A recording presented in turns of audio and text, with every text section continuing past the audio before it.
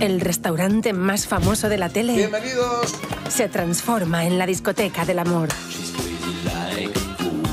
Tengo mucho éxito con los albañiles y los taxistas.